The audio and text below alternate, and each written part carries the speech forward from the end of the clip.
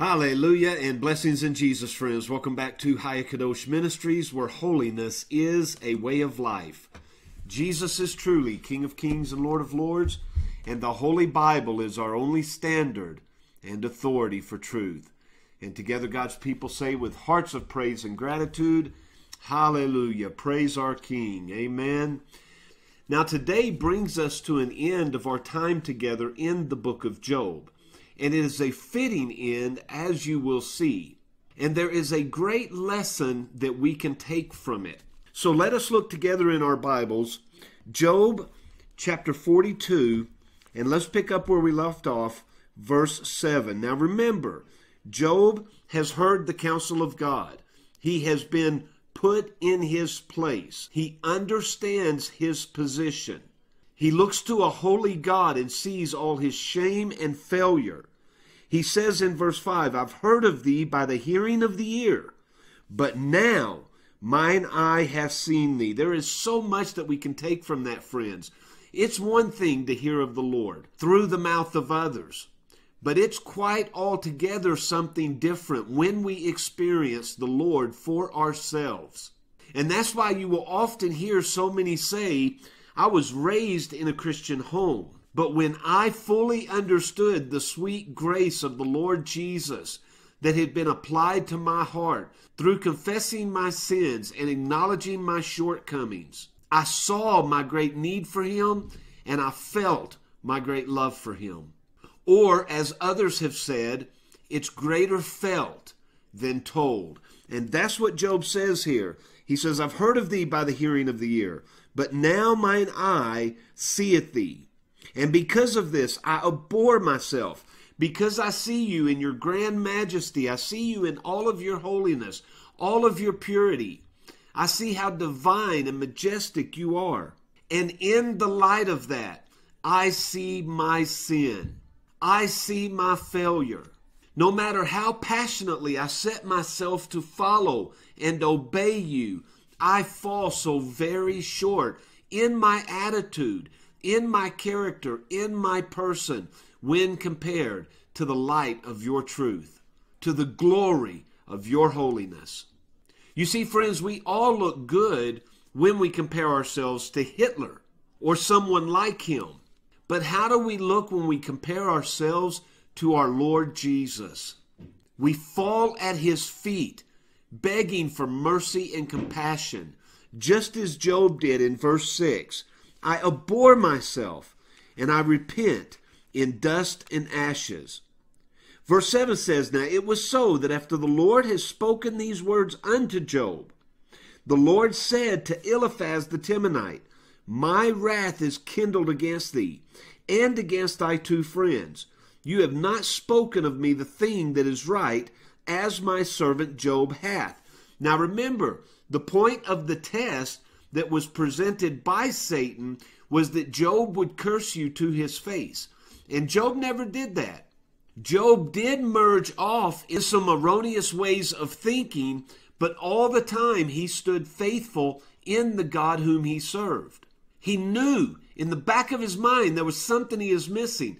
As much as he could try to figure it out, he just couldn't put his hands on it. And it almost seems like now Job understands he sees that this was a trial and that this was the only way to receive the glory that the Lord had prepared for him. What seemed to be at one time evil, unjust, too much to bear, now Job understands he had to be refined, he had to be fitted for the kingdom of God. Job understands before it was ever written, all things work together for good to those who love God and are called according to his purpose. But what's interesting in this verse is that the Lord rebukes these three friends who have spoken against Job. And so notice in verse 8, he says, Take unto you seven bullocks, seven rams, go to my servant Job, offer up for yourselves a burnt offering, and Job will pray for you. How humiliating this must have been. Yet they're not going to allow their humiliation to keep them from obeying the command of God, but they obey and adhere to the command of God. And in verse 9 it says, Eliphaz, Bildad, Zophar did according as the Lord commanded. And the Lord accepted Job. Look at verse 10. The Lord turned the captivity of Job when he prayed for his friends. Also, the Lord gave Job twice as much as he had before. Now, this was grace and favor bestowed unto Job by the Almighty. This isn't a promise that we can hold God to. It doesn't mean that when we lose something, we're always going to get twice as much back, at least not in this life. But it does mean that every cloud has a silver lining. And if we can weather the storm, days of rest and peace lie just ahead. Verse 11 says, Then came there unto him all his brethren, all his sisters, all those that had been his acquaintance before the trial. They ate bread with him in his house. They grieved with him. They comforted him over all the evil that the Lord had brought upon him. And every man gave him a piece of money, and every one an earring of gold. But the Lord, not the people, the Lord blessed the latter end of Job more than his beginning. Now remember, all the way back in chapter 1, verse 3, it says his substance was 7,000 sheep. But now God gives Job in verse 12 of chapter 42 14,000 sheep. Back to chapter 1, he had 3,000 camels. Here he has 6,000 camels. Back to chapter 1, he has 500 yoke of oxen. Here he has a thousand yoke of oxen. Back in chapter 1, he has 500 she asses. Here he has a thousand she asses. So God doubled his portion. Now we also know for chapter 1 that he had seven sons and three daughters. And it says in verse 13, he had also seven sons and three daughters. Now, interestingly enough, it doesn't tell us the name of his sons, but it does tell us the name of his daughters. And so it says in verse 14, he called the name of the first Jemima, which means day by day, which to me is an indication that Job learned to appreciate every day he was living in. And so should we, friends. Jesus said, Take no thought for tomorrow. Focus on today. Enjoy the beauty and the glory of today. And that's what Job learned in this trial. Don't plan for the future. Do everything in your power to live faithfully and obedient for your king today. So he names her Jemima day by day. The name of the second he names Keziah. And from this, the Hebrew means peeled like bark. And that's exactly how Job had felt. He felt like a tree that had been peeled of its bark this poor man, the anguish and the suffering that he went through. And so every time he looked at this young girl, it was a reminder of what God had done for him. Not put him through, but done for him because he was better at the end than he was when he entered into the trial. And that's the lesson that we're to learn. We're to come out the other side better for it.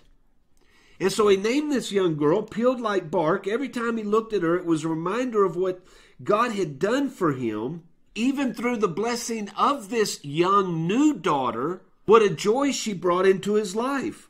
And the name of the third was Keren Happuch. Now, I probably mispronounced that, but that's okay. And her name means horn of cosmetic. In other words, bottle of medicine, the very thing that I need. My body has healed after this trial. My soul is in the process of healing after this trial. But you bring my heart such pleasure. You're the medicine that I need.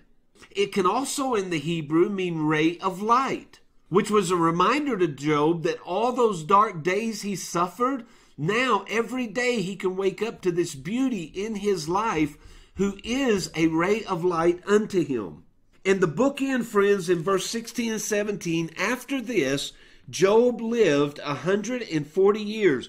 Now, we were never told, nor do we know how old Job was when he entered into this. I would speculate, based upon the age of the other men who were much older and wiser, Job is probably somewhere between 40 and 60 years old. And you'll remember back in the days of Noah, men lived much longer than they did later in the Bible or even today.